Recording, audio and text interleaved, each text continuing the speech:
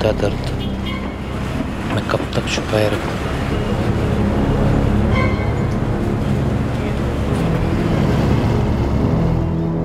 मैं सामने वाले को दर्द देना नहीं चाहता। लेकिन मुझे कितना दर्द हो रहा है क्या वो ये जानता है?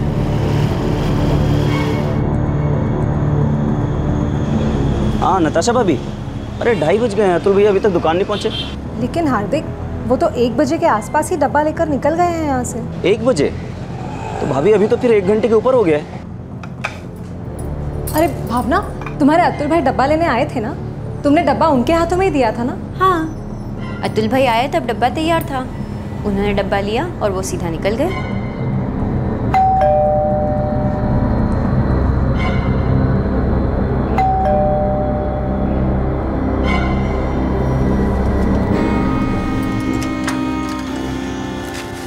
आपके पसंद का ઊંધિયું બનાવ્યું છે અતુલભાઈ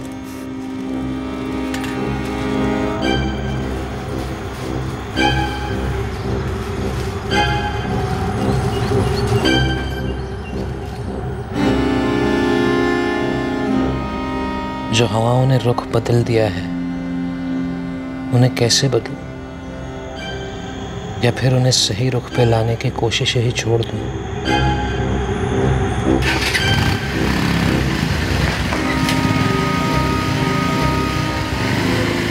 अरे मैं लगातार फ़ोन कर रहा हूँ रिंग जा रही है उठा ही नहीं रहे हार्दिक कहीं किसी काम से रुक तो नहीं गए पर भाभी ऐसा होता तो वो मुझे फ़ोन या मैसेज कर देते और वैसे भी डब्बा लेकर भाई सीधे दुकान पर ही आते हैं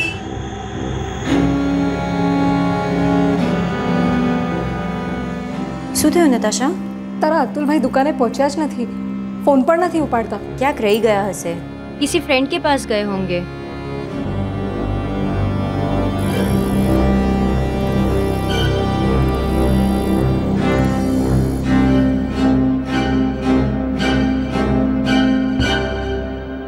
अतुल देसाई का दिल और दिमाग दोनों परेशानी की गिरफ्त में थे।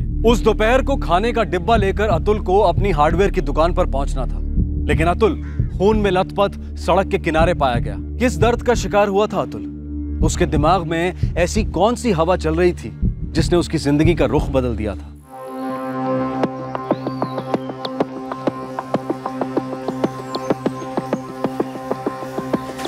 अरे लाजी क्या हुआ? बटाटे की बोरी किधर है? दामोदर से मैं बटाटे वाले के पास गया ही नहीं। क्यों? मैं बटाटा लेने यहाँ से निकला तो था लेकिन यहाँ से दो मिनट दूरी पर सड़क पर एक आदमी पड़ा हुआ है। लगता है उसका एक्सीडेंट हुआ है। कौन है वो आदमी? ये सच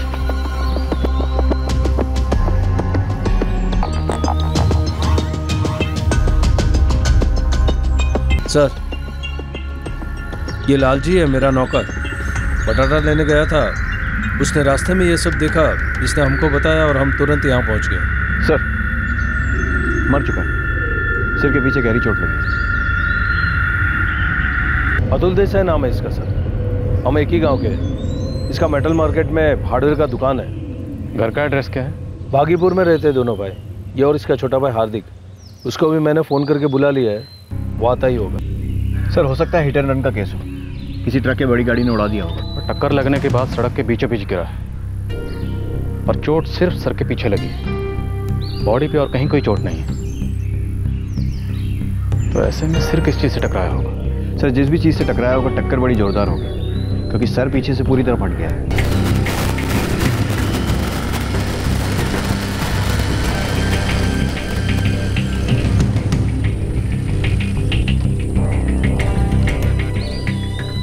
क्या हुआ दामोदर भाई? और देख लगता है अतुल का एक्सीडेंट हो गया है। क्या? सर मेरा भाई का है। हाँ? मैं हार्दिक देसाई सर। अतुल देसाई का छोटा भाई। सर वो मेरे भाई की बाइक है सर। मेरा भाई का है? हार्दिक वो वापस दुनिया में नहीं रहे। नहीं सर क्या क्या बोल रहे हैं सर? सर सर मुझे मेरे भाई से मिलवा दिए सर। मेरा भाई कहाँ है सर? मुझे मेरे भाई से मिलना है सर। अतुल भाई? अतुल भाई? अतुल भाई क्या हुआ अतुल भाई अतुल भाई उठो। अतुल भाई अतुल भाई अतुल भाई उठो अतुल भाई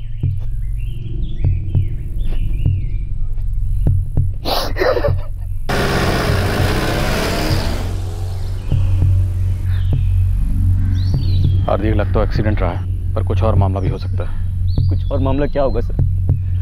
आप लोग क्या बोल रहे हैं मेरे कुछ समझ में नहीं आ रहा। आप अपने आप को संभालिए और अपने घर में इन्फॉर्म कर दीजिए। पोस्टमार्टम के बाद हम बॉडी आपको हैंड ओवर कर देंगे। हार्दिक हुआ क्या है? भावना नताशा भाभी को लेके जल्दी से एलएनसी हॉस्पिटल आ जाओ। अभी निकलो। हॉस्पिटल क्यों? अतुल भाई कहाँ है? भावना मैं फ़ोन पे नहीं बता सकता। तुम बस भाभी को लेके निकलो जल्दी से। अभी। क्या हुआ? क्या हुआ भावना? क्या कहा हार्दिक ने? पता नहीं नताशा ये हार्दिक ठीक से कुछ बोल ही नहीं रहा है। उसने सिर्फ़ इतना कहा कि तुरंत भाभी को लेकर एलएनसी हॉस्पिटल आ जा। पर हॉस्पिटल में क्यों? तू चिंता ना कर नताशा सब ठीक होगा। हम एक काम करते हैं हम पिंकी को उसके स्कूल से लेते हैं और फिर हॉस्पिटल जाते हैं। नहीं भावना ये ये हार्दिक कुछ छुपा रहा है। कुछ कुछ हुआ है अतुल को? अतुल देसाई की मौत हो चुकी थी। लेकिन जिस तरह से अतुल की मौत हुई थी उससे पुलिस के मन में शक की हवाएँ चलने लगी थी। ये केस एक्सीडेंट का लग रहा था। लेकिन अंदर कोई और ही कहानी बाहर आने के लिए उमड़ रही थी। पुलिस के शक को यकीन में बदलने में ज़्यादा वक्त नहीं लगा। हार्दिक! हार्दिक क्या हुआ है? अतुल भाई कहा है? हार्दिक तुम कुछ बोल क्यों नहीं रहे हो? मेरे पति कहाँ हैं? भाभी अतुल भाई नहीं रहे।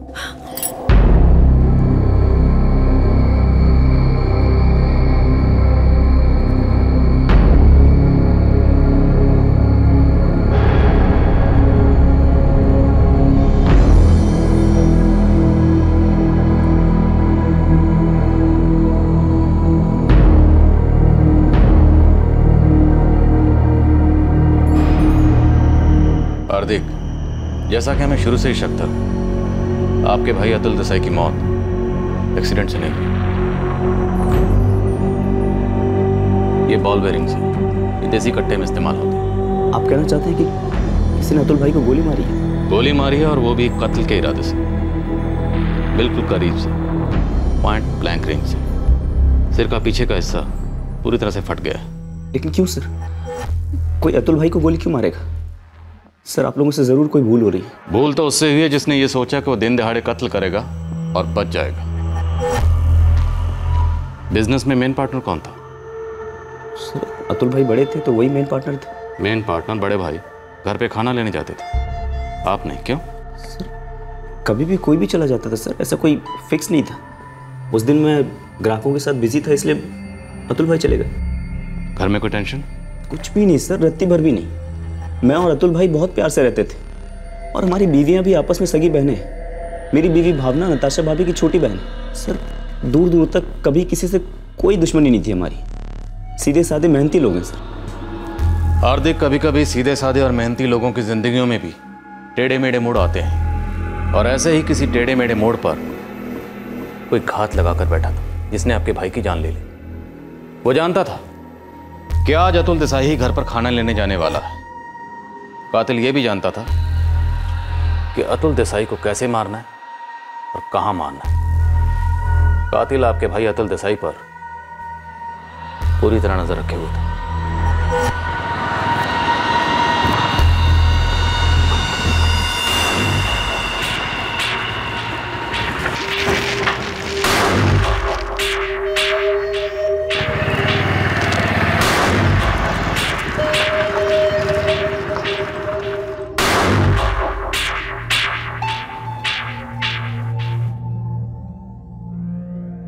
कोई अतुल भाई पर नज़र रखे हुए था। पर क्यों सर? उनका कत्ल करने के लिए। और कत्ल करने की कई वजह हो सकती हैं। जर जोरू ज़मीन जिनकी वजह से नफरत गुस्सा और जलन पैदा होती है। सर नफरत गुस्सा और जलन वो भी अतुल भाई जैसे इंसान के। पर कोई ऐसा क्यों करेगा सर? वो अंदर नहीं आए थे। उन्होंने दरवाजे से ही डब्बा लिया और तुरंत निकल गए। देखिए अतुल मारा गया है। आपके पति का कत्ल हुआ है और बिना किसी कारण के कोई कत्ल नहीं होता। है तो आप लोग मुझे सच सच बताइए, क्या अतुल का हाल फ़िलहाल में या कुछ टाइम पहले किसी से कोई झगड़ा हुआ था? या उसे किसी से कोई धमकी मिली हो?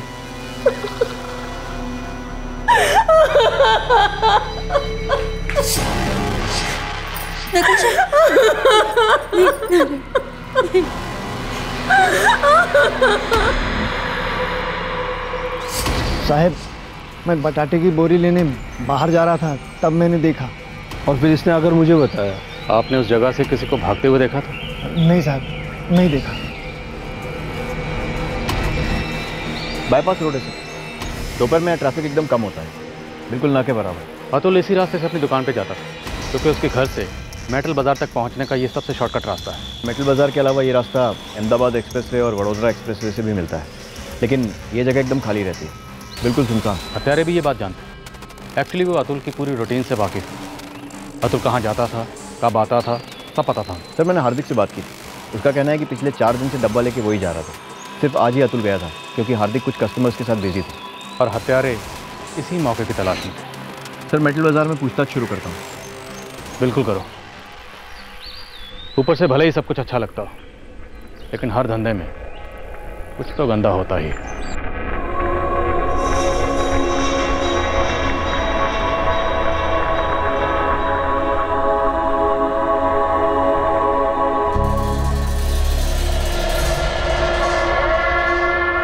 छह साल पहले अतुल ने बड़ी मेहनत से हार्डवेयर की दुकान शुरू की थी जो वो और उसका छोटा भाई हार्दिक मिलकर चला रहे थे। दोनों भाई वडोदरा के पास के एक छोटे से गाँव को बिलोंग करते थे और बड़े शहर आए थे काम करने के लिए। देसाई भाइयों को रोज़गार मिला हार्डवेयर मटेरियल बनाने वाली एक फैक्ट्री में जो उन्हीं के मामा प्रेमचंद हिरानी चलाते थे। सर प्रेमचंद हिरानी अतुल और हार्दिक के मामा। उस हार्डवेयर की दुकान में उन्होंने ही पैसा लगाया था। इस हार्डवेयर की दुकान में अतुल और हार्दिक दोनों भाइयों की बराबर की पार्टनरशिप थी राइट नहीं सर दुकान अतुल ने शुरू की थी अपने मामा प्रेमचंद की मदद से।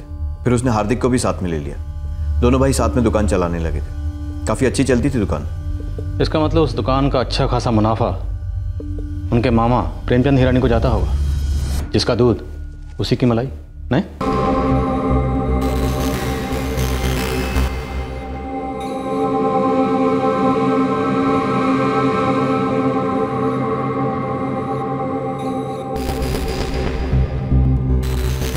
दुकान के किराए से लेके supplies 100 percent investment Premchand Hirani ने किया था। पचास टका मुनाफा लेता था लेकिन कुछ समय बाद मुनाफा लेना बंद कर दिया। क्या उन लोगों की आपस में कुछ अनबन हुई? नहीं सर प्रेमचंद हिरानी अतुल का हिसाब देखता तक नहीं था। सुना है कि दुकान के उद्घाटन के बाद वो दुकान में आया तक नहीं। अपनी फैक्ट्री में ही बिज़ी रहता है और कुछ टाइम बाद मुनाफा भी लेना बंद कर दिया। मेरी सगी बहन के बेटे हैं दोनों।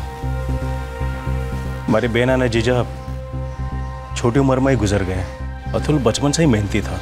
आपने दुकान में अपनी भागीदारी क्यों छोड़ दी थी? जब अतुल पूरी दुकान संभालता था तो मैं अपने पचास टक्का लेके क्या करता? दोनों मेहनती भाई की शादी भी हुई। दो बहनों के साथ नताशा और भावना। वो दुकान इस घर को मेरी तरफ़ से भेंट थी। अब देखो क्या से क्या हो गया।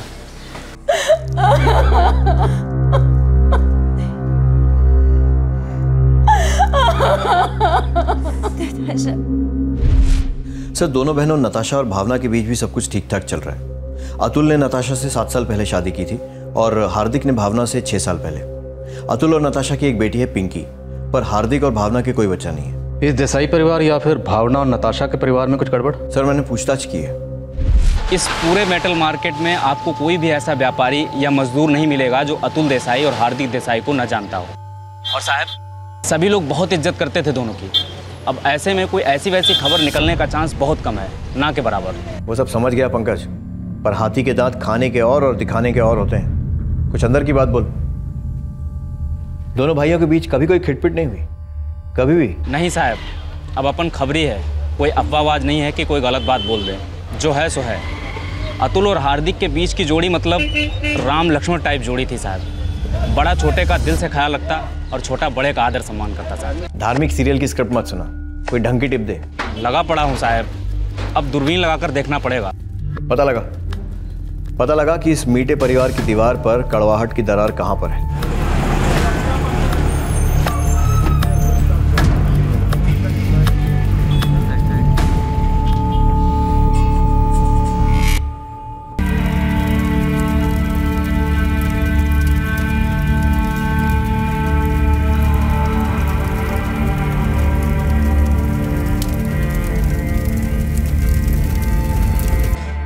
इतनी मिठास के बीच कुछ ना कुछ खटास तो ज़रूर होगी। तभी अतुल देसाई का मर्डर हुआ और वो भी एकदम प्रोफेशनल तरीके से। चाल जरा दूर फेंको। कट्टा मार्केट में छानबीन करो और सुपारी बाज़ार में कान लगाओ। आई एम श्योर कुछ ना कुछ हाथ ज़रूर आएगा। सर घर वालों के फ़ोन रिकॉर्ड्स भी चेक कर लेते हैं। क्या पता मामला घरेलू ही हो। तुरंत फ़ोन रिकॉर्ड्स निकलवाओ और मुझे इन दोनों बहनों भावना और नताशा से भी मुलाकात करनी है। घर की बातें घर वालियों से करेंगे।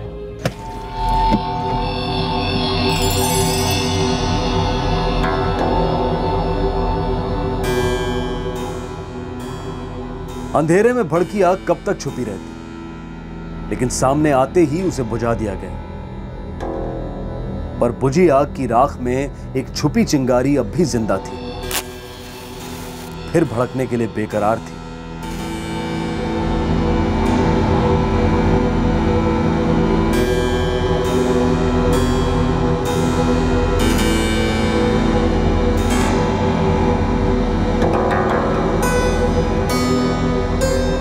बुझ गए रिश्ते जल गया इंसान।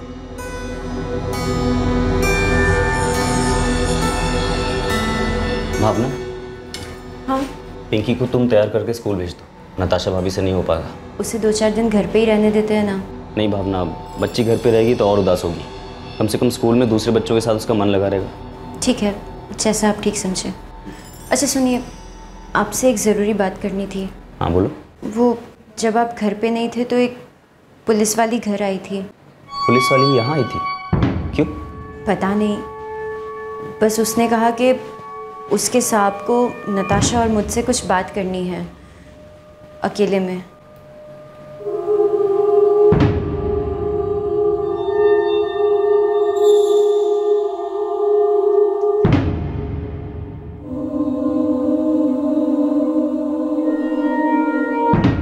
देखिए सर अगर अतुल भाई को किसी भी बात की टेंशन होती तो अपने भाई, यानी मेरे पति हार्दिक को बताते। या फिर अपनी पत्नी नताशा को, जो मेरी सगी बड़ी बहन है। लेकिन जब किसी ने भी किसी से कुछ नहीं कहा तो पता नहीं आपको ये टेंशन वाली बात क्यों दिख रही है? हमें सिर्फ़ टेंशन वाली नहीं, साजिश वाली बात भी दिख रही है। क्योंकि हमें देसी कट्टे के बारूद से सुपारी की बू आ रही है। सुपारी समझती हैं किसी को पैसे देकर मनवाना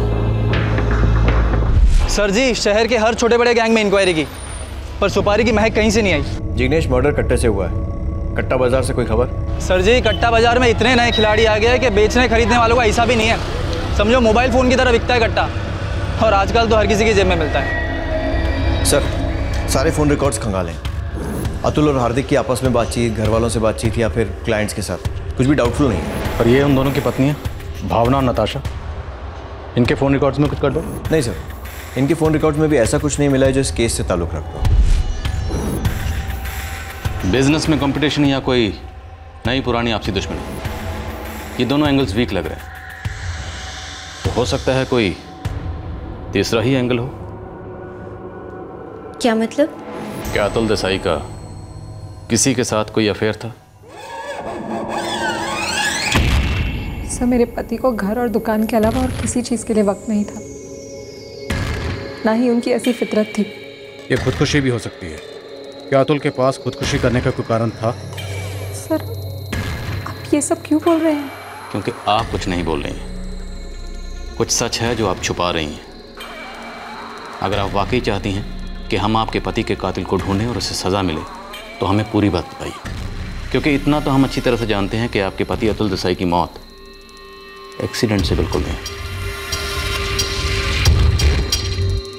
सर अब तक इस केस में कोई ठोस एंगल नहीं है हमारे पास। किसी ने हर एंगल पर पर्दा गिरा रखा है। लेकिन हम सारे पर्दे फाश करते रहेंगे। एक दुकानदार दोपहर में अपने और अपने भाई के लिए घर पर खाना लेने जाता है।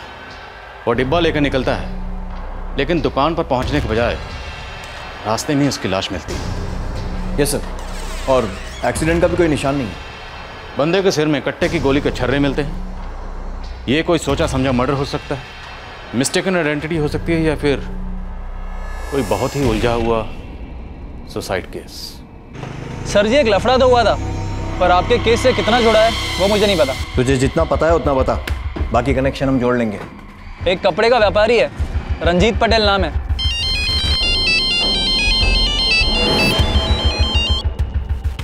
હલો હાજી રંજીત પટેલ બોલું છું તમે કોણ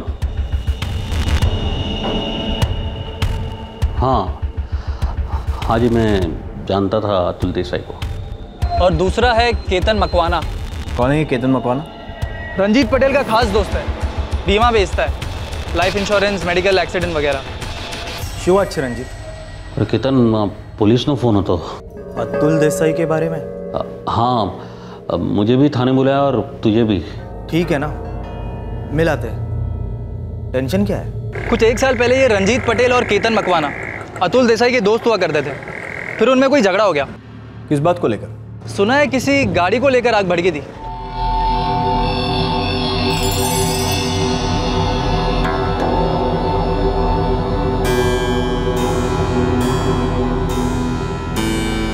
पता नहीं रुचि। बोल रहे कि अतुल देसाई का मर्डर हुआ है। उस सिलसिले में पुराने झगड़े टटोल रही होगी पुलिस इसलिए बुलाया होगा और क्या? वो झगड़ा तो कितना पुराना है। अतुल के मर्डर के साथ उसका क्या रिश्ता? उन्हें नहीं खबर बापू जी। अब पुलिस खुद बताएगी कि क्यों बुलाया है। और जो भी सवाल करेगी उसके सीधे सीधा जवाब दे दूँगा मैं। अब जो हुआ है बहुत बुरा हुआ है लेकिन मुझे कोई टेंशन नहीं है। और अपनी तरफ़ से सब क्लियर कट है। एक उंगली नहीं उठ सकती मुझ पर। ओके बापू जी जाओ जाओ।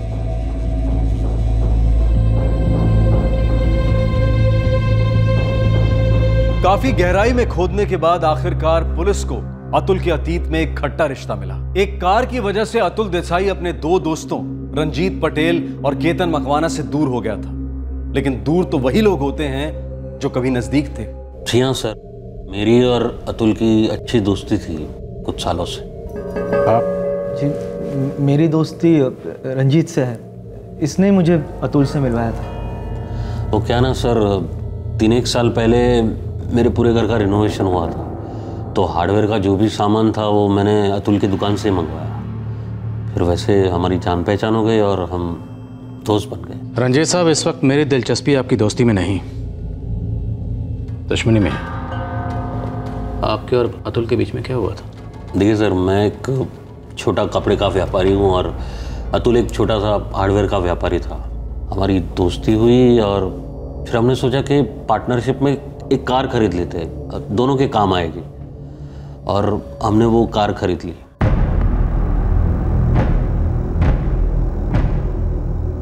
ये वही कार है जो अतुल देसाई के घर के बाहर पार्क रहती है? जी हाँ सर ये वही कार है। और हमारे बीच में डील हुई थी कि हम ये कार हमारे पर्सनल काम के लिए यूज़ करेंगे। ये बात सच है सर। अतुल भाई और रंजीत भाई ने 50-50 पार्टनरशिप में वो कार खरीदी थी। और अक्सर हम लोग अपनी फैमिली के साथ उसी कार में बाहर जाते थे। और केतन? रंजीत का दोस्त है? जी सर। केतन भाई और रंजीत भाई दोस्त थे और अतुल भाई से बाद में केतन भाई की मुलाकात हुई थी। ये झगड़ा कब हुआ था? तकरीबन एक साल पहले सर। कारण? वो मुझे पता चला कि अतुल वो कार चुपके से किराए पर चढ़ा रहा था। जबकि हमारे बीच क्लियर कट अंडरस्टैंडिंग हुई थी डील हुई थी कि ये कार हम सिर्फ़ हमारे पर्सनल काम के लिए यूज़ करेंगे। किराए पर नहीं देंगे। मैंने गाड़ी किराए पे दी। किसने कहा तुमसे? किसी ने भी कहा हो सच है या नहीं? एक मैंने एक आध बार गाड़ी किसी दोस्त को चलाने के लिए दी। उसे किराए पे देना नहीं कहते समझे? अतुल तुम्हारे दोस्त कौन कौन है ना सब पता है मुझे। सबकी खबर है। अरे पता चला कि तुम कार के बदले पैसे भी लेते हो? एक आध बार लिए होंगे यार। एक आध बार मतलब किराया किराया होता है। और हमारे बीच क्या डील हुई थी? कि हमारी गाड़ी हम सिर्फ़ हमारे घरों के लिए इस्तेमाल करेंगे। किराए पर देने के लिए नहीं राइट ठीक है। आगे से नहीं होगा। सॉरी अतुल भरोसा टूट गया है। और इसको जोड़ना मुश्किल है। और तू चाहे दुनिया के किसी हार्डवेयर स्टोर में चला जाए टूटे भरोसों को जोड़ने के लिए ना कोई तुझे गोंद मिलेगा ना स्क्रू दोस्ती में झूठ खंजर की तरह चुपता है सर। उस दिन के बाद सब सब खट्टा हो गया और हम अलग हो गए। सर अतुल भाई ने रंजीत भाई को कार का पचास टका पैसा लौटा दिया था और पूरी कार अपने नाम कर ली थी सर। मतलब कार मिली और दोस्ती गई? जी सर कुछ ऐसे ही हुआ। उस दिन के बाद अतुल भाई और रंजीत भाई आपस में अजनबी से हो गए थे। और केतन मकवाना सर जब रंजीत ने दोस्ती तोड़ दी तो मैंने भी अतुल के साथ दोस्ती तोड़ दी। वैसे भी अतुल से मेरा कनेक्शन सिर्फ़ रंजीत के थ्रू ही था। एक गाड़ी के लिए दोस्ती खत्म? नहीं नहीं सर, सवाल गाड़ी का नहीं था। सवाल था नियत का, भरोसे का। हम धंधा पूरी ईमानदारी से करते हैं, सर। और दोस्ती तो और भी ईमानदारी से। दोस्ती में बेईमानी मुझे कबूल नहीं होती, सर। एक साल हो गया, सर। मैं अतुल से कभी मिला ही नहीं। और ना ही हमारी कोई बातचीत हुई।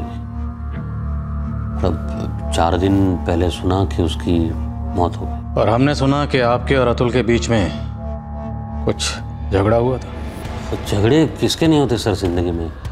और मैं तो ये सपने में भी नहीं सोच सकता कि मेरे और अतुल के बीच जो गाड़ी को लेकर झगड़ा हुआ, उसको लेकर आप मुझे अतुल की मौत का जिम्मेदार समझेंगे मिस्टर रंजीत पटेल, अतुल देसाई का मर्डर हुआ है और उसकी तफ्तीश करना, उसके कातिल को ढूंढना हमारा फ़र्ज़ है।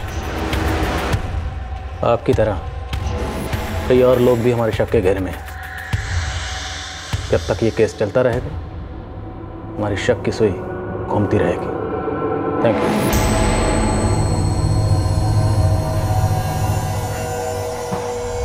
अगर ज़रूरत पड़ी तो फिर बुलाऊँगा।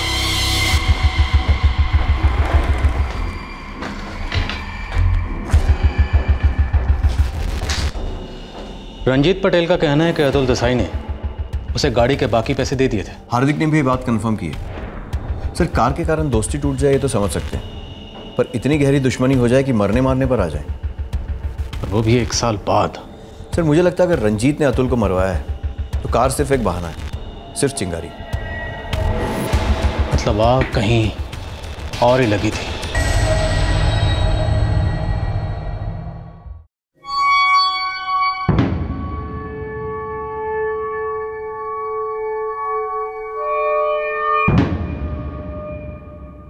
पुलिस रंजीत और केतन से पूछताछ कर रही है।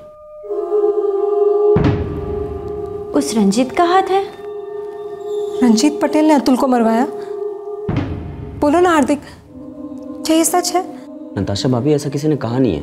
पुलिस बस नॉर्मल पूछताछ कर रही है। ये जानने के लिए कि कार को लेकर क्या झगड़ा हुआ था।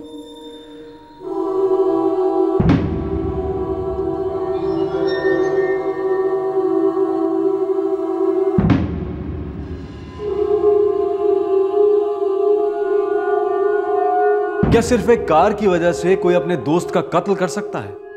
शायद कर सकता है। लेकिन इस केस में ये कार ये कार खुद कुछ कह रही थी। शायद उस कार के अंदर कुछ ऐसा था। उन दोनों की दोस्ती के बीच में कुछ ऐसा था जो उन दोनों के बीच आ गया।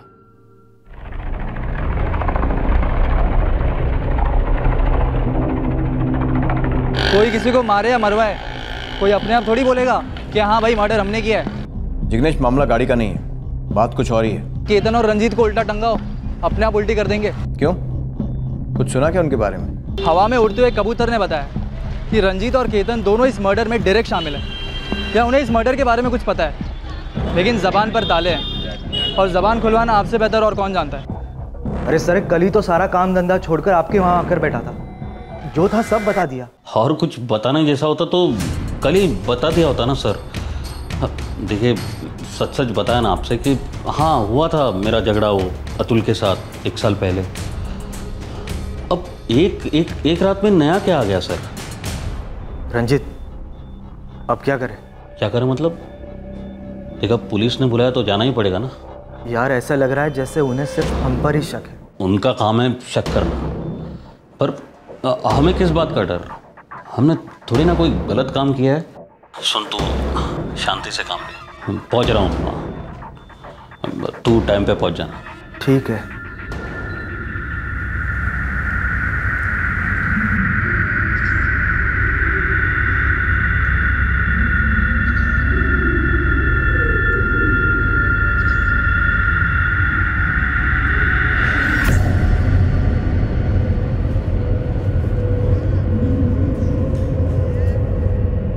રણજીત વાત શું છે क्यों इतना टेंशन में? है? कुछ समझ में नहीं आ रहा बापू जी फिर बुलाया पुलिस ने। बार बार क्यों? कल ही गए थे ना? कल हो गया ना सब कुछ? नहीं मालूम मुझे रुचि। कुछ नहीं मालूम। और बस बुलाया तो जाना पड़ेगा।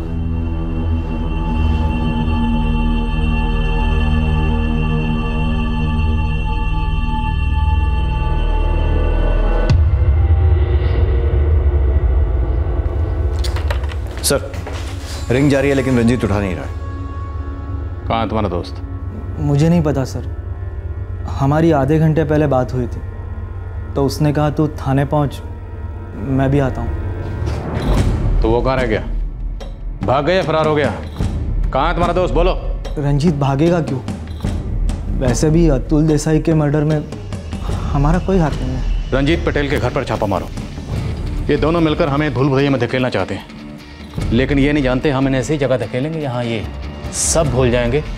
सिर्फ़ सच याद रहेगा। सो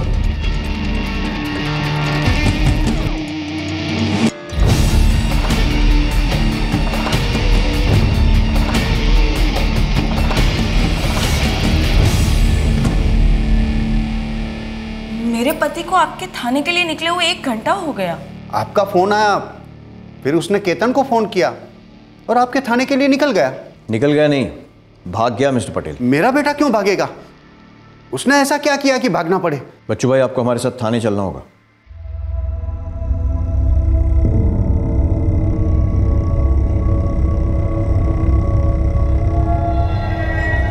अजीब बात है रंजीत मेरा फ़ोन नहीं उठा रहा। अजीब बात नहीं है सच बात है। और सच ये है कि आपका बेटा रंजीत पटेल अतुल देसाई के मर्डर में शामिल है। नहीं नहीं शामिल है। वो शामिल है। अपने बेटे से कहिए कि इस तरह भागना बेकार है और उससे भी बेकार है आपका उसको बचाना और उसका साथ देना। नहीं सर मुझे कुछ मालूम नहीं है। मुझे तो अपने बेटे की फ़िक्र हो रही है। वो पुलिस स्टेशन के लिए निकला था। गया कहाँ? क्या हुआ है उसे? मैं आपके हाथ जोड़ता हूँ। पता लगाइए प्लीज़ पता लगाइए। वो तो हम पता लगा के ही रहेंगे। लेकिन जब तक आपका बेटा हमारी कस्टडी में नहीं आ जाता आप यहाँ से नहीं जा सकते। सर रंजीत का फ़ोन ट्रैक करने की रिक्वेस्ट डाल दी है पर थोड़ा टाइम लगेगा। सर अगर उसे भागना होता तो वो अपना सेल फ़ोन क्यों ऑन रखता? मुझे लगता है रंजीत ज़रूर किसी मुसीबत में फंस गया है। मुझे बताइए मैं जानना चाहता हूँ कि आपको क्यों लगता है कि मेरा बेटा इस खून में शामिल है? यही जानने के लिए तो हमने आपके बेटे और इन साहब को यहाँ बुलाया है। वो तो हम कल भी आए थे। और ईमानदारी से सब कुछ बता कर गए। कल और आज में ज़मीन आसमान का फ़र्क है मिस्टर केतन मकवाना। हमें पता चला है कि आप कुछ ऐसा जानते हैं जो आपने कल नहीं बोला ईमानदारी से जो हम आज आपसे बुलवाएँगे ईमानदारी से। और आप नहीं बोलेंगे तो हम बुलवाना चाहते हैं। केतन तू कुछ जानता है क्या? ना काका मुझे कुछ भी नहीं पता है।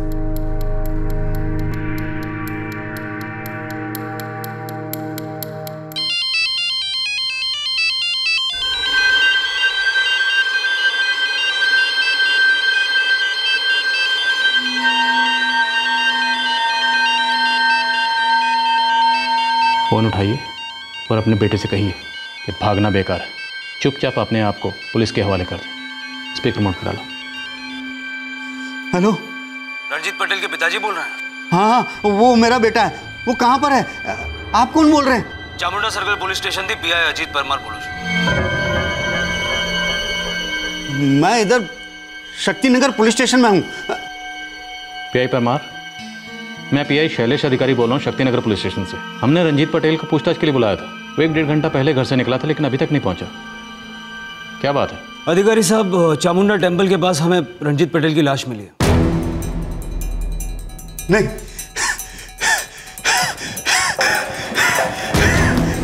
काका काका विपुल कल्पेश। काका। काका डॉक्टर को बुलाओ जल्दी। काका। ये कब हुआ? लगभग एक आध घंटे पहले। हमें पीसीआर से कॉल आया था कि चामुंडा टेंपल के पास कोई लाश मिली।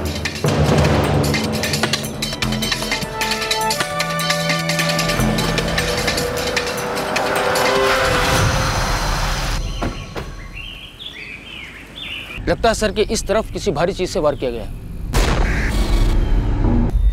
सर इनके जेब से ये पर्स और मोबाइल मिले रंजीत के मोबाइल पर काफ़ी सारे मिस कॉल्स थे। उसमें से आखिरी बापूजी का था। तो हमने कॉल बैक किया। हमने रंजीत को यहाँ पुलिस स्टेशन बुलाया था। लेकिन जब उसने रिपोर्ट नहीं किया तो हमने उनके पिताजी बच्चू भाई पटेल को यहाँ बुलाया। रंजीत के परिवार में से किसी को एलएनसी हॉस्पिटल जाकर लाश की शिनाख्त करनी होगी। जी।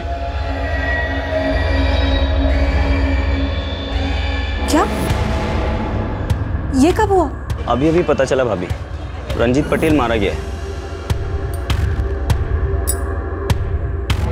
શું થયું નતાશા रंजीत पटेल का मर्डर हो गया है क्या हाँ वो पुलिस ने उसे थाने बुलाया था अतुल के केस में पूछताछ करने वो घर से निकला पर थाने नहीं पहुंचा चामुंडा मंदिर के पास उसकी लाश मिली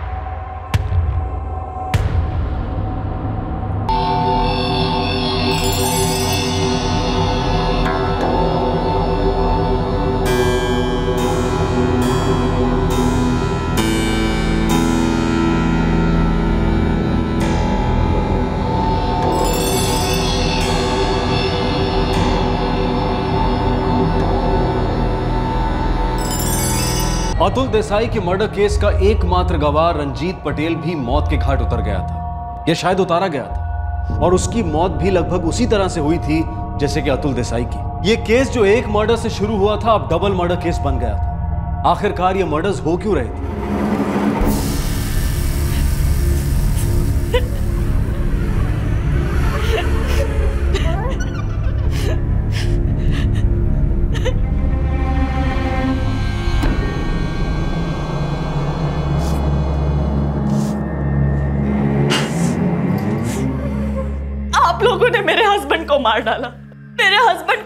का की मौत से कोई वास्ता नहीं था। लेकिन आप लोगों ने उन्हें हद से ज़्यादा परेशान कर दिया। सर बच्चू भाई हार्ट पेशेंट है। अभी स्टेबलाइज हुए रुचि ये कह पाना मुश्किल है कि आपके पति रंजीत अतुल देसाई की मौत के लिए जिम्मेदार थे या नहीं। पर इतना तय है कि आपके पति रंजीत की मौत का अतुल देसाई की मौत से कोई ना कोई वास्ता ज़रूर है। कैसा वास्ता? स्टोरी बना रहे हैं। मेरे पति ने अतुल देसाई से सारे रिश्ते नाते खत्म कर दिए थे एक साल पहले। अतुल देसाई कैसे मरा, उसको किसने मारा, मुझे नहीं पता। लेकिन मेरे पति को आप लोगों ने मारा है। उन्हें बिना वजह हैरान किया, टॉर्चर किया, उनकी जान ले ली।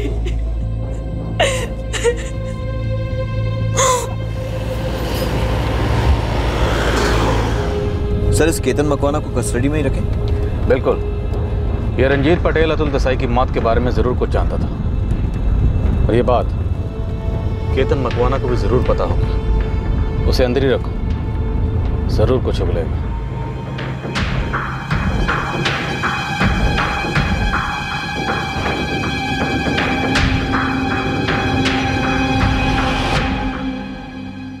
मेरा तो दिमाग सुन हो गया सर।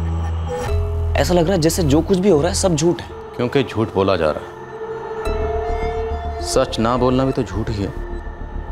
मैं समझा नहीं सर। आपके भाई अतुल देसाई और रंजीत पटेल के बीच कार को लेके तो कभी कोई झगड़ा हुआ ही नहीं। कार तो महज एक बहाना थी। उन दोनों के बीच झगड़े की असली वजह तो कुछ और ही थी। सर अगर कोई और वजह थी भी तो कसम से मुझे नहीं मालूम। मुझे अतुल भाई ने कहा था, कार को लेकर झगड़ा हुआ है, मैंने वही सुना, वही समझा और वही आपको बताया। सर, अतुल भाई जो बोलते थे वो मानता था।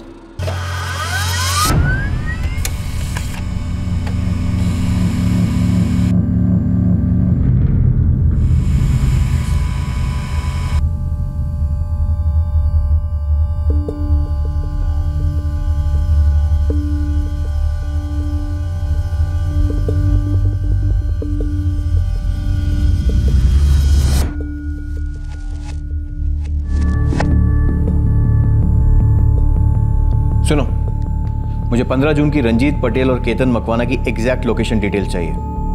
जल्दी।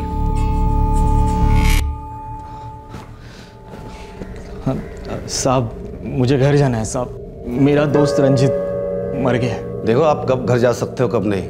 ये तो हमारे बड़े साहब तय करेंगे। फ़िलहाल बैठिए। एक बात बोलूँ? क्या? घर जाने का एक ही रास्ता है। सच बोल दो।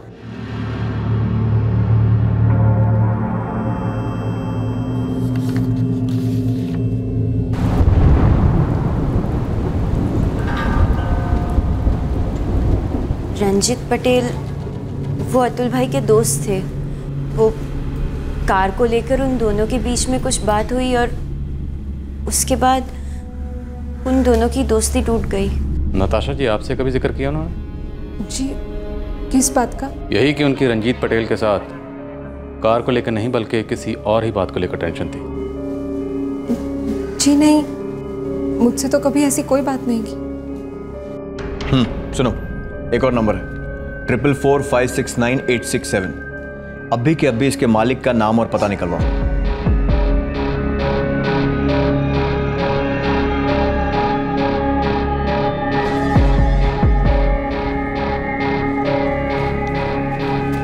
सर कनेक्शन मिल गया। सर अतुल देसाई के मर्डर के दिन केतन मकवाना की सेलफोन लोकेशन सर हम लोग पहले से शक कर रहे थे कि अतुल देसाई का रूटीन किसी को पता था कोई उस पर नज़र रखे हुए थे राइट सर पंद्रह जून को केतन मकवाना के सेलफोन की लोकेशन अतुल देसाई के घर के बाहर थी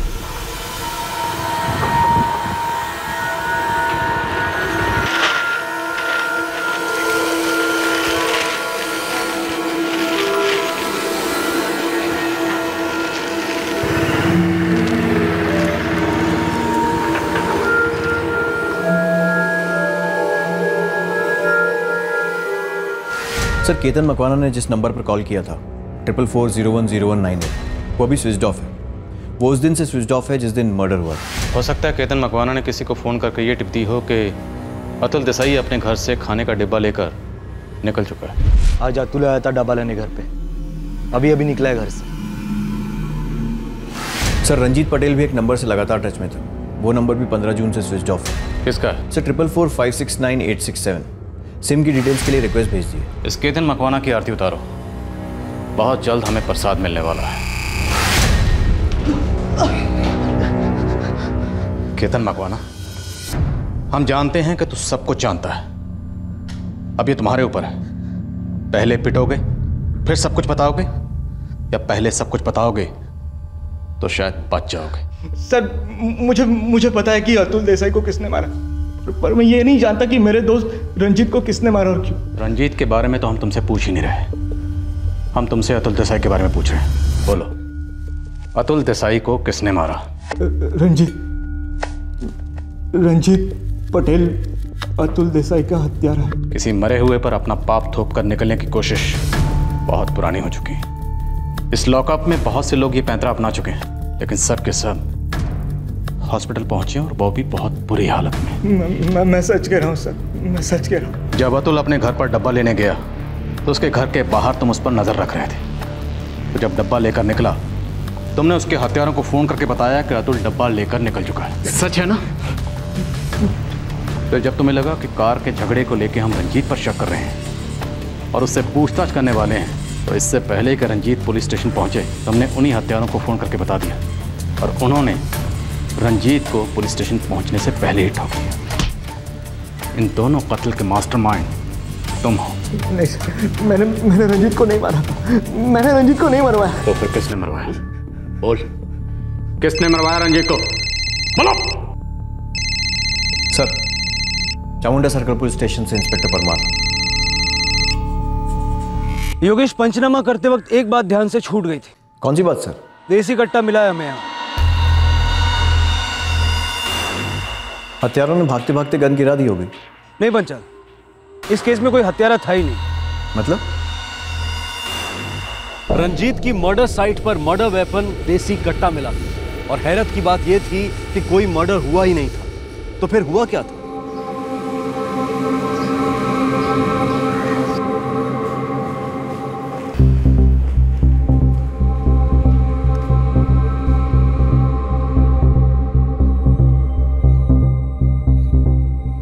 हम रंजीत पटेल के घर की तलाशी ले रहे थे ताकि हमें इस केस में कोई लीड मिल सके। उस वक्त हमें उसका सुसाइड नोट मिला।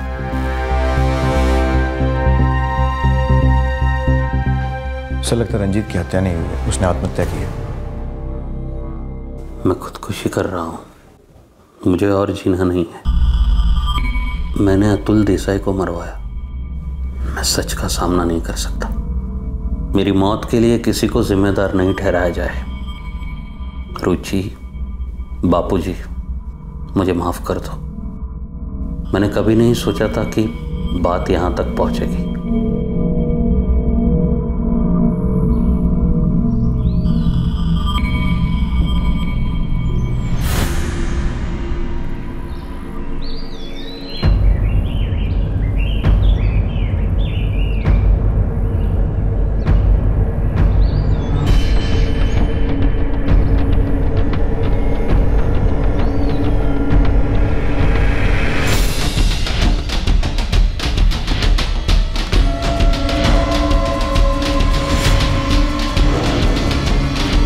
क्राइम सीन पर लौटे और पूरा इलाका छान मारा। तब ये देसी कट्टा हमें मिला। और हाँ उस सुसाइड नोट की राइटिंग मैंने उसकी पत्नी रुचि जी से कंफर्म कर ली।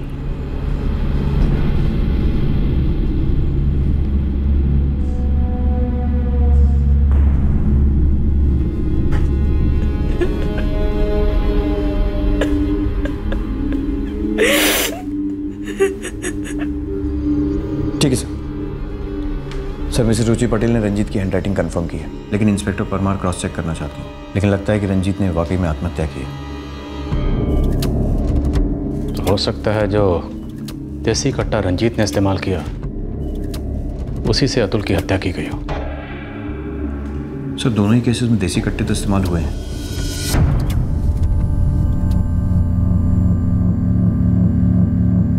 मिस्टर केतन मकवाना अब पर्दा गिरने में ज़्यादा वक्त नहीं है। इसलिए कुछ भी अपने अंदर रखने की गलती मत करना। वरना अगर ज़िंदा रहे तो ज़िंदगी भर पछताओगे। सर मैं मैं झगड़े की जड़ कार नहीं थी इतना हमें पता है। असली बात क्या है? सर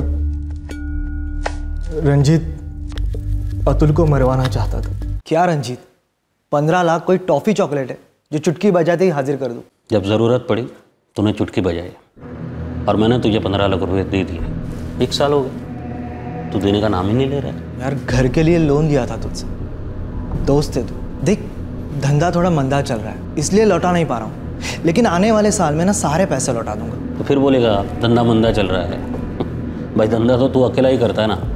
हम सब तो मक्खी मारते ये घर तेरे नाम कर दूँ? बोल। ये घर रख। और वो पैसे भी रख। पर शर्त है तुझे मेरा एक काम करना होगा। तूने मेरे लिए जो किया ना उसके बाद तेरे लिए जान भी दे सकता हूँ। मुझे तेरी जान नहीं चाहिए। किसी और की चाहिए। किसकी?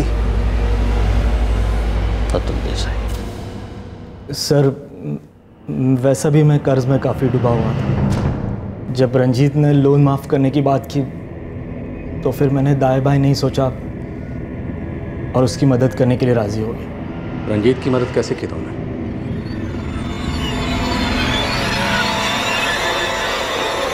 पच्चीस पेटी लगेगा। मिल जाएँगे। ये जो अतुल देसाई है ना इसका पूरा दिनचर्या चाहिए मुझे। उसके बाद मेरा आदमी खलास कर देगा इसे।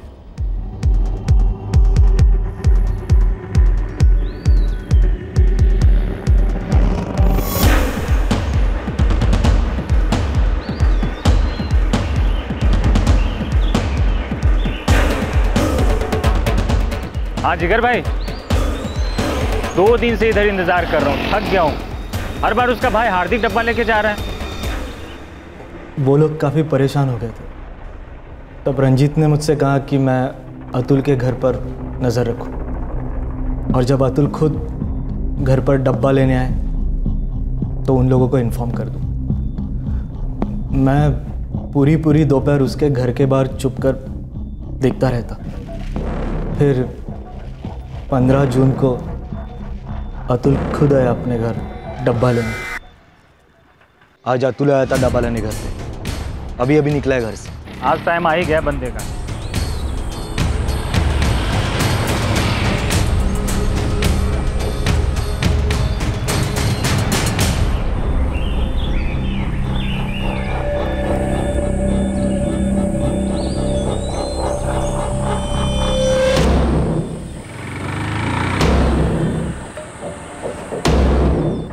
तू हो?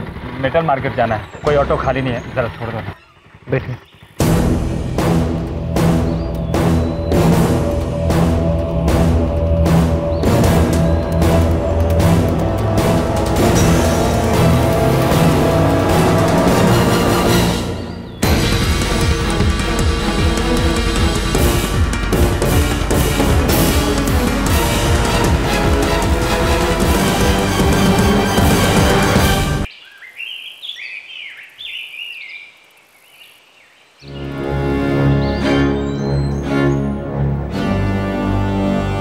रंजीत को पूरा यकीन था कि शक की उंगली उस पर कभी नहीं उठेगी। लेकिन शक की उंगली उसी पर उठी। वो शक और पुलिस के डंडे से इतना डर गया कि उसने खुद पर पिस्तौल उठाई और अपनी जान दे दी। अब तुम ये बताओ कि रंजीत अतुल को क्यों मारना चाहता था? क्योंकि उन दोनों के बीच सिर्फ़ कार को लेकर अनबन नहीं थी। रंजीत और अतुल के बीच में कुछ तो और था, वो कुछ और। क्या था? अनबन कार को लेकर कभी थी ही नहीं। यह बात सच थी कि अतुल और रंजीत ने कार पार्टनरशिप में खरीदी थी। लेकिन इन दोनों दोस्तों का बिछड़ना और उस पार्टनरशिप के खत्म होने का उस कार से तो कोई ताल्लुक था ही नहीं। तो फिर किस चीज़ से ताल्लुक था? अतुल और रंजीत के बीच कार को लेकर नहीं तो और किस चीज़ को लेकर अनबन थी?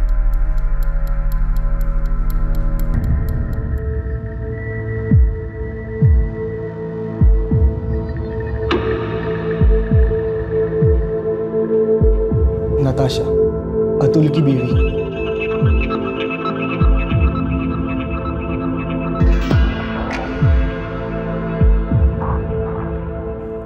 अतुल के साथ दोस्ती के कारण रंजीत अतुल के घर आता जाता रहता। रंजीत और नताशा करीब आ गए।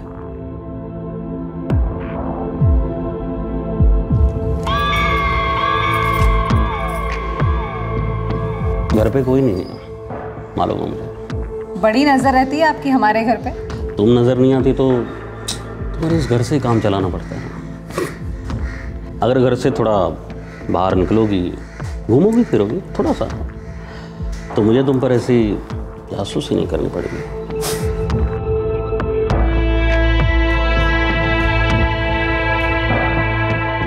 रंजीत को यकीन था कि उसकी ये दगाबाजी और नताशा की बेवफाई कभी पकड़ी नहीं जाएगी। पर उसका यकीन गलत था सर। अतुल को सब कुछ समझ आया था। लेकिन अतुल अपनी पत्नी का सामना करना नहीं चाहता था। वो घर की शांति तोड़ना नहीं चाहता था और अपना दर्द और गुस्सा दबा रहा था।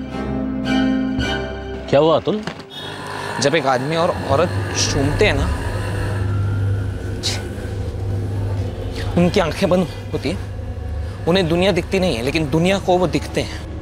क्या मतलब बोल रहा है तू? क्या? आज से हमारे बीच कोई रिश्ता नहीं होगा। हमारी बात સાંભળ અતુલ का ही ना સાંભળવું भाई હવે તું મારી बात सांभ तुम्हारे और नताशा के बीच में जो भी था वो वो था। ठीक है? आज के बाद मेरे घर पे तुम कभी कदम नहीं रखोगे नताशा को एक भी फ़ोन नहीं करोगे। तुम्हारा घर है तुम्हारी बीवी है। मेरा घर है मेरी बीवी है नताशा। बच्ची है मुझे। मुझे मेरा घर तोड़ना नहीं है।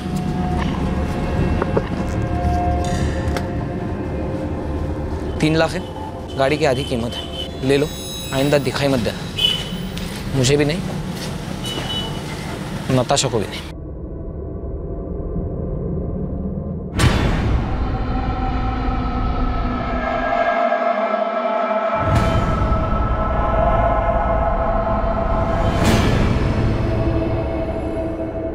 लेकिन रंजीत को नताशा का नशा चढ़ा था सर। ज़बरदस्त नशा। देख के तन मैं उसके बिना मर जाऊँगा। और वो भी मेरे बिना ज़िंदा नहीं रह पाएगी। यार तुम दोनों मिल जाओगे पर बाकी कितने लोग मर जाएँगे ये नहीं सोच रहा है तू? वैसे ज़िंदा कौन है इस वक्त? सब सबके सब आधी अधूरी जिंदगियाँ जी रहे हैं। कोई खुश नहीं है।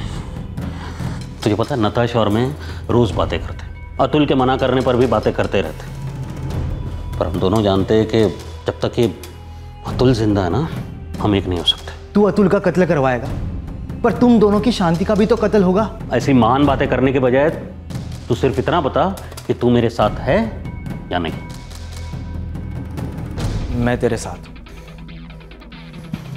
मुझे एक ऐसा आदमी दे जो मेरे और नताशा के बीच के इस कांटे को हटा दे। अतुल देसाई की सुपारी ए,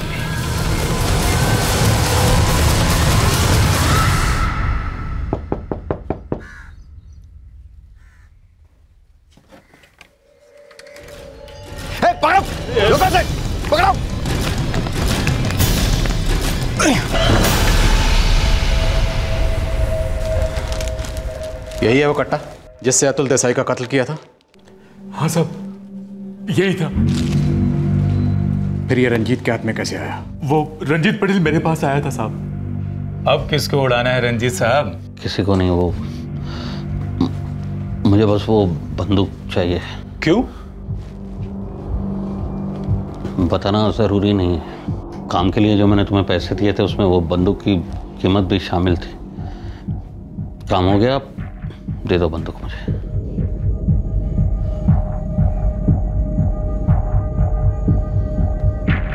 उसने मांगा मैंने दे दिया। पैसा उसने पहले ही दिया था। स्टेटमेंट लो इसका। सर।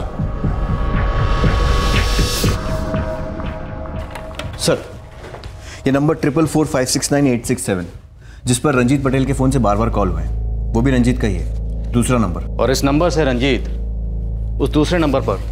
बार बार बात कर रहा था। यस सर और इस नंबर की लोकेशन अतुल के घर के अंदर ही रही है हमेशा। जब उनकी चोरी पकड़ी गई तो रंजीत ने नताशा के लिए दूसरा नंबर ला दिया। इस केस की शुरुआत में ही हमने किसी लव अफेयर का गेस किया था। गेस तो किया था लेकिन हमसे एक चूक हो गई।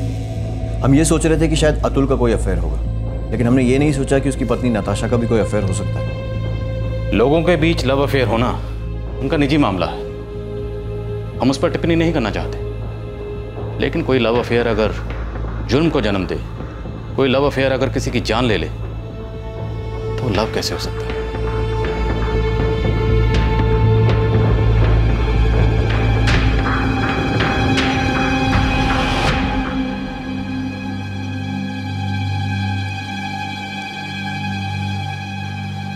अतुल भाई को खत्म करने की क्या ज़रूरत थी भाभी? साफ़ साफ़ कह देती कि तलाक चाहिए, अलग हो जाती। और चली जाती हम सबको छोड़कर उस रंजीत के साथ। कम से कम मेरा भाई तो ज़िंदा रहता।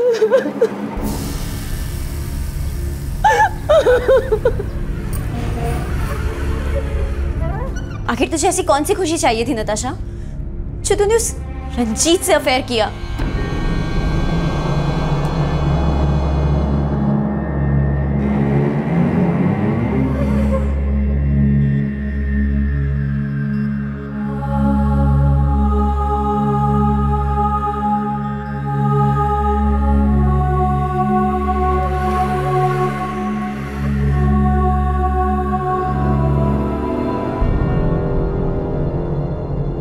पुलिस ने काफ़ी छानबीन की ये पता लगाने के लिए कि क्या नताशा भी अतुल के मर्डर में शामिल थी। लेकिन उन्हें अब तक नताशा के खिलाफ कोई सबूत नहीं मिले साथ ही साथ पुलिस रंजीत पटेल के सुसाइड और सुसाइड नोट की भी री इन्वेस्टिगेशन कर रही है। ये पता लगाने के लिए कि क्या ये वाकई में खुदकुशी ही थी। लेकिन उस मामले में भी पुलिस को अब तक कुछ नया नहीं मिला है। साजिश में साथ देने वाला केतन मकवाना, सुपारी उठाने वाला जिगर भगत और शूटर मनोज शुक्ला। इन तीनों को आईपीसी की धारा 302 के तहत मर्डर के लिए, धारा 120 बी के तहत क्रिमिनल कॉन्स्पिरेसी के लिए गिरफ़्तार किया गया है। और साथ ही इन पर गुजरात पुलिस एक्ट सेक्शन 25 और सेक्शन 27 आर्म्स एक्ट भी लगाए गए हैं। तीनों फ़िलहाल जुडिशियल कस्टडी में हैं। रंजीत और नताशा के अफेयर के बारे में जानते हुए भी अतुल ने कभी नताशा का सामना नहीं किया।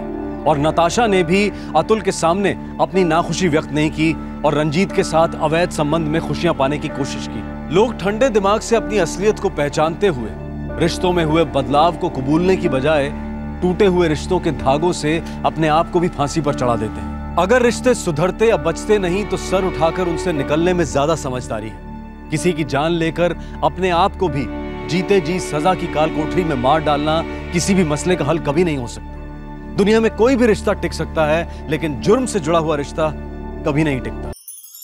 ऐसे और भी मज़ेदार वीडियो के लिए हमारे चैनल को लाइक, शेयर और सब्सक्राइब करें।